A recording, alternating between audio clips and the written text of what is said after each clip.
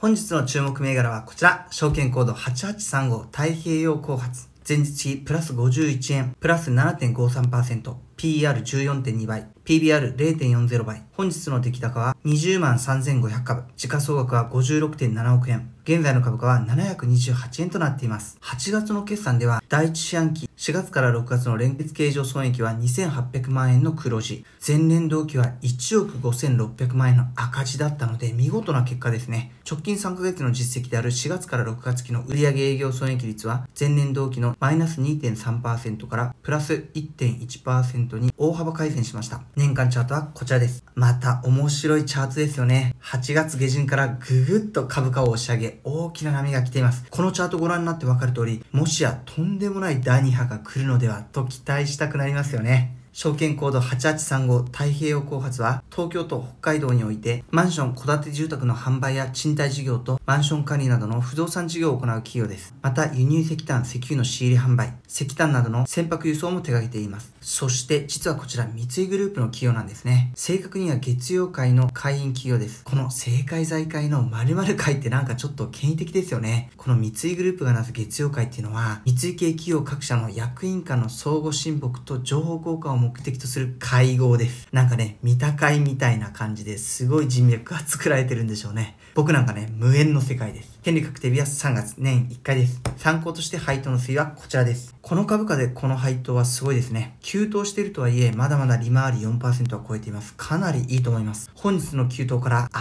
日は続伸か、それとも反発かという感じですが、気になるこの銘柄から目を離せませんね。明日の相場が楽しみです。以上、カズでした。See you!